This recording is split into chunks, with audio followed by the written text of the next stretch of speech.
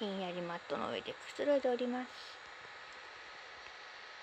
チャッピーさんちょっと険しい表情。これもひんやりマットです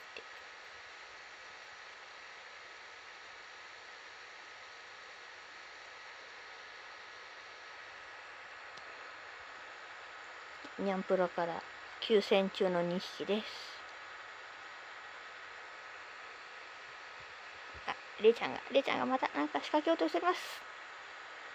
遊びたくてうずうずうずうずうず。うず急に飛びかかるとまた怒られるよ。でも行きたいのね。遊びたいのね。チャッピーさん目が怖くなったよ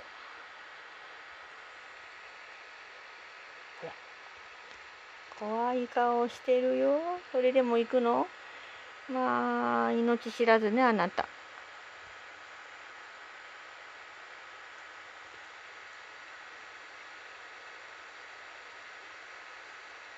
チャッピーさん寄り目になってないあなた。